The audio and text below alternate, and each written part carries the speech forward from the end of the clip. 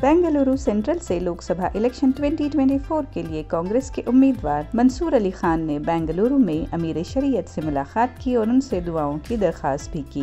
इस मौके पर सबक मरकजी वज़ीर रहमान खान, वज़ीर जमीर अहमद खान, चीफ मिनिस्टर के पॉलिटिकल सेक्रेटरी नसीर अहमद और दीगर कायदीन भी मौजूद थे।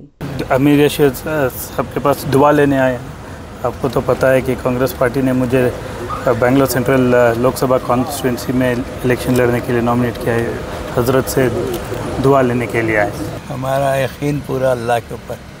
अल्लाह ने एक चाह तो कामयाबी हमारी होगी।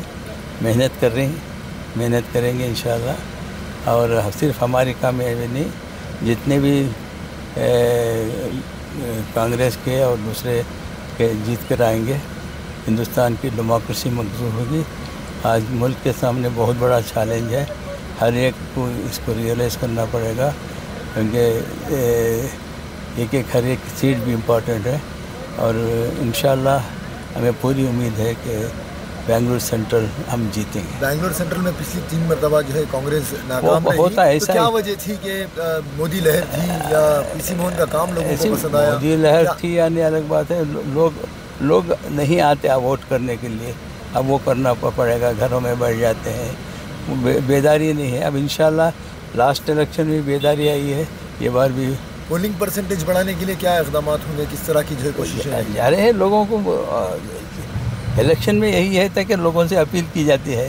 लोग उसको समझ कर देना है। रमज़ान के बिल्कुल बाद जो है पोलिंग रहेगी तो काफ़ी लोग जो है उम्र के सफ़र पर या इस तरह जो है सैर तफरी के लिए निकल जाते हैं नहीं तो ये, ये ये ये कहीं ना कहीं हिंदुस्तान में या मुल्क में त्यौहार होते हैं, ये होते हैं, वो छोड़ते हैं।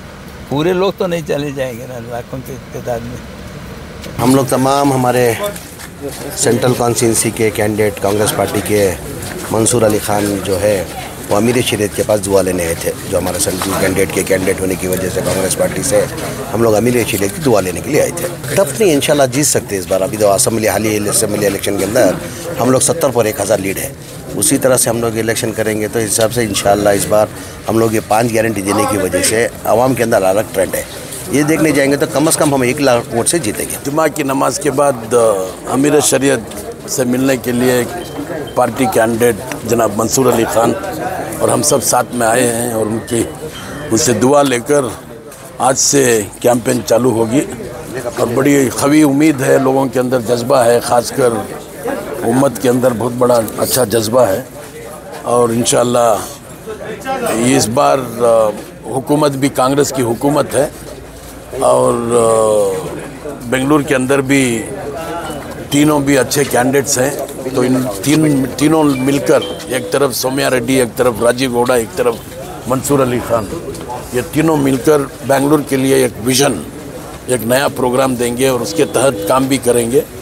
तो मैं समझता हूँ कि बेंगलुरु में तकरीबन 24 लाख वोटर्स बेंगलुरु सेंट्रल के जो हैं, और ख़ासकर यहाँ पर पाँच कांग्रेस के एमएलए हैं, उसमें तीन मिनिस्टर्स हैं। जनाब ज़मीर अहमद साहब हैं के जे जॉर्ज हैं, दिनेश गुंडू राव हैं और रिजवान अरशद हैं।